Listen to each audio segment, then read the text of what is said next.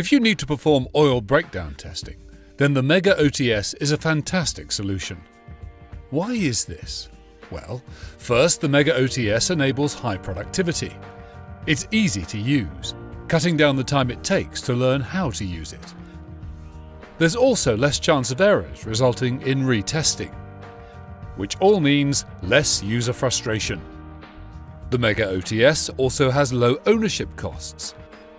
It has low-cost accessories, it avoids repairs, it has a long product life.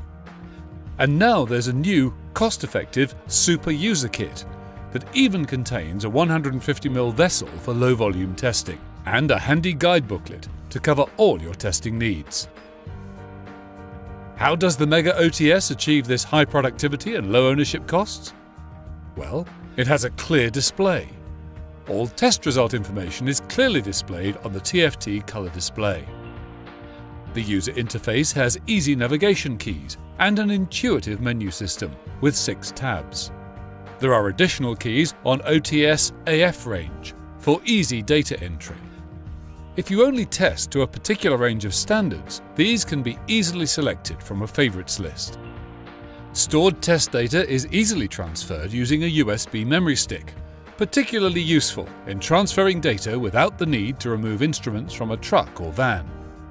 Additional or replacement test vessels are available at low cost, meaning you can comply with the standards and have a separate vessel for each type of oil you test.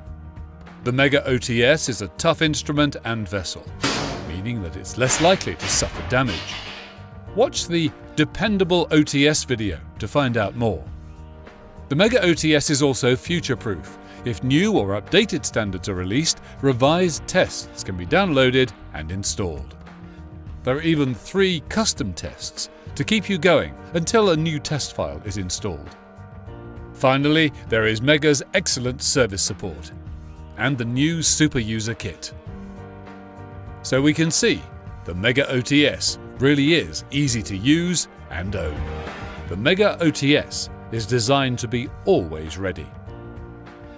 The OTS PB units, which can be used for field testing, can be fitted with a battery and, if required, charged from a 12 volt vehicle socket.